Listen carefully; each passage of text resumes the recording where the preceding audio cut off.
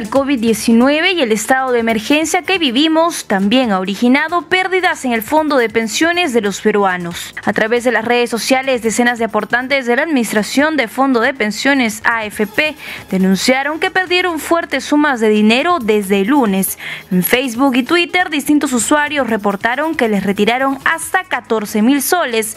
Los aportantes informaron que la ruta que usaron fue el ingreso a su cuenta de AFP. Tras acceder, se dirigieron al fondo respectivo y verificaron la situación de sus ahorros. Para el economista Jorge González Izquierdo, esta reducción de dinero en los fondos de pensiones tiene una relación directa con la caída de la bolsa de valores. Si usted pertenece al fondo 2 y 3, preste atención porque será uno de los más afectados. ¿Cuál es la razón? El economista Jorge González Izquierdo explica lo siguiente como las AFP han invertido casi el 50% de los ahorros de los, de los peruanos en el extranjero, han invertido en acciones que se cotizan en el extranjero.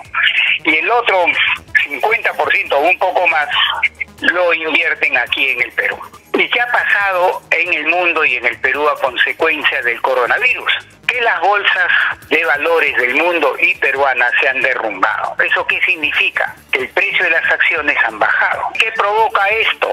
Que los fondos 3 y 2 han perdido en forma importante el valor del fondo porque los precios de las acciones donde han estado, donde están invertidas estos fondos han bajado la crisis del coronavirus.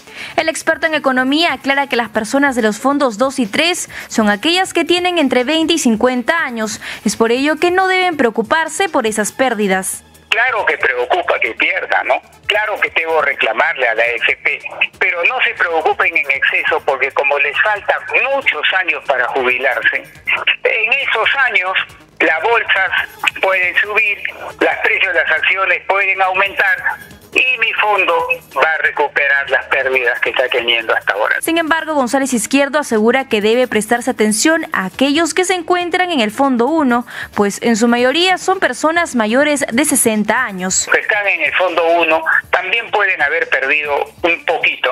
A ellos felizmente el no los está agarrando fuerte y, esa, y es a ellos a los que hay que cuidar porque ya están próximos a jubilarse. Ante las denuncias de los aportantes a través de un comunicado, la Asociación de AFP señaló que la pandemia provocó inestabilidad en los mercados financieros a nivel global, pero que el impacto será de un corto plazo.